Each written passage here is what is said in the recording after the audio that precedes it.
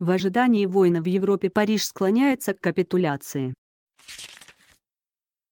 Источник изображения vpknews.ru инвалиды пятой статьи.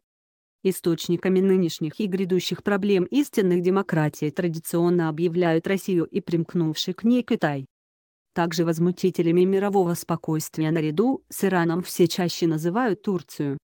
Запад теряет единство, власти стран НАТО и ЕС в растерянности перед лицом новых событий и явлений, а в США все больше посматривают в сторону Юга дружба пошла скважинами. Президент Франции Эммануэль Макрон в обстановке хаоса и неразберихи явил миру образец острого гальского смысла, о котором упоминал Александр Блок в знаменитом стихотворении «Скифы».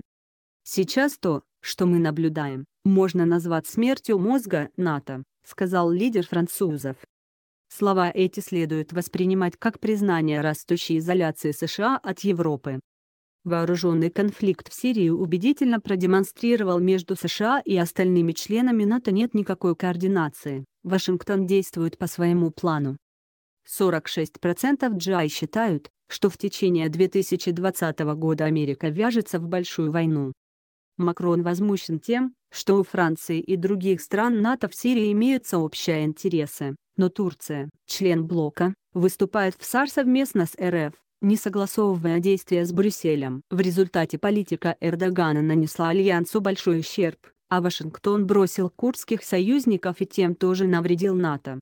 В основе обеспокоенности Парижа заинтересованность в добывающем секторе Сирии. До 2011 года часть нефти из этой страны закупали Франция, Германия и Италия. В добыче участвуют европейские компании, включая французскую Total и англо-голландскую Royal Dutch Shell до гражданской войны Total добывалось здесь 29 тысяч баррелей нефти в сутки. При нестабильности в САР бизнес стал небезопасен, значительная часть скважин перешла под контроль США, которые распоряжаются ими по своему усмотрению. Союзников по НАТО, имеющих в Сирии коммерческие интересы, Вашингтон просит не беспокоиться, дружба дружбой, а нефтедоллары врозь. Глава МИДа РФ Сергей Лавров считает, США направляют доходы от украденного черного золота на поддержку лояльных вооруженных формирований. Это затрудняет регулирование конфликта и служит серьезным раздражителем для Дамаска. Более того, Белый дом стремится отделить территории на восточном берегу Ефрата, где сосредоточены основные месторождения, и делает все, чтобы создать там квазигосударство. Большая игра снова на арене. Французский лидер, говоря о пятой статье Североатлантического договора, трактующей агрессию против участника блока как нападение на всех, задает вопрос, если Башар Асад попытается напасть на Турцию, мы примем меры. Вот вопрос, на который нужно дать ответ. Трамп относится к НАТО как к коммерческой организации, которая служит США. Франция не затем вступила в НАТО, напоминает Макрон. Утверждая, что не желает драматизировать ситуацию, он замечает, если Европейский Союз не станет независимым в военной сфере, не сможет ощущать себя стратегической силой и не откроет пути к стратегическому диалогу с Россией, он просто исчезнет в геополитическом отношении. Европа ищет сбрую для троянского коня. Однако Ближним Востоком спектр обеспокоенности НАТО не исчерпывается на правах одного из хозяев состоявшегося 3-4 декабря 2018 года саммита Альянса глава Объединенного командования ВС Великобритании Патрик Сандерс заявил, что Россия совместно с Китаем могут возобновить большую игру, поэтому необходимо перевести чрезвычайный кабинет при правительстве Cobra на круглогодичный режим. Напомним, большой игрой там называют противостояние с Российской империей в 19 веке. Сферой передела были Центральная и Южная Азия, Афганистан. Сандерс подчеркнул, что РФ и КНР хотят использовать при этом технологии, обладающие высокой военно-политической активностью с опорой на новые системы высокоточного оружия. Эксперты НАТО соревнуются в составлении мрачных прогнозов будущего конфликта, высказывает сомнение, что переход от гибридной войны по линии Запад-Восток к ограниченному обычному, а затем и ядерному может развиваться по трем сценариям. Вооруженное противостояние в одной бывших союзных республик. Третью мировую войну начнут Иран и Израиль с последующим вмешательством великих держав. Провокация хакеров-террористов, атаковавших жизненно важные объекты Запада. Вариант вооруженного конфликта между РФ и НАТО обстоятельно проработал французский историк Филипп Фабри в исследовании «Атлас грядущих войн». По его мнению, столкновение в Европе неизбежно с 2019 по 2024 год, причем агрессором, конечно же, будет Россия. ВС РФ вторгнутся в Прибалтику, русские хакеры атакуют киберсети военных баз в Польше и Германии. НАТО отважится дать отпор, который будет быстро сломлен и стратегическая операция ВС РФ на западном ТВД получит оперативный простор. Армады танков устремятся к Ла-Маншу, но русские не войдут в Париж, как 31 марта 1814 года, с триумфом, а российские дипломаты и военные принудят Францию к нейтралитету. Здесь исследователь явно решил пощадить свою страну. Американцы, по мнению Фабри, постоят в сторонке и откровенно кинут европейских союзников. По предположениям аналитика, Америка дождется окончательной хаотизации в мире и затем, чтобы в первую очередь обезопасить себя, постарается очистить Атлантику от российских подлодок, после чего нанесет ядерные удары по объектам в Китае и России. США пересчитывают врагов, Европейским экспертам вторят заокеанские коллеги.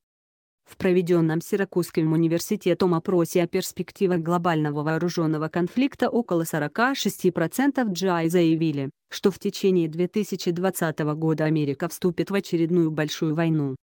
Характерно, что в предыдущем аналогичном опросе такой позиции придерживались лишь 5%, а число респондентов, уверенных, что в ближайшее время США не ввяжутся в грандиозную бойню, за год упала с почти двух третей до половины. Россию главным врагом Америки считают около 71% опрошенных, что почти в четверо превышает показатель предыдущего года – 18%. Второе место досталось Китаю, его назвали противником номер один около 69%, год назад 24%. Американский журнал Military Times утверждает, что Россия разрабатывает чрезвычайно важные технологии и образцы техники, новую тактику боевых действий и напористую геополитическую стратегию, подрывающую претензии США на звание единственной сверхдержавы. Опасения насчет войны возникли на фоне того, что президент Дональд Трамп за последний год неоднократно указывал на необходимость повышения боевой готовности перед лицом нарастающих угроз со стороны внешних врагов, под которыми понимаются как террористические группы, так и традиционные державы-конкуренты, указывается в статье. На этом фоне урегулирование отношений с Северной Кореей считается плодотворным. За год процент тех американских военных, кто называет Пхеньян источником серьезной угрозы, упал более чем с 72 до 46%. Еще один плюс в предвыборную копилку Трампа. Проведенный анализ позволяет утверждать, что Запад теряет былое единство. Страны НАТО и ЕС пасуют перед лицом новых глобальных угроз, в которых Альянс лишь один из действующих субъектов и одновременно объектов. ООН, ОБСЕ, НАТО и ЕС ВТО, ядерные и климатические соглашения формируют длинный список требующих решения проблем. Сегодня ничто из этого перечня не работает и не отвечает потребностям мирового сообщества.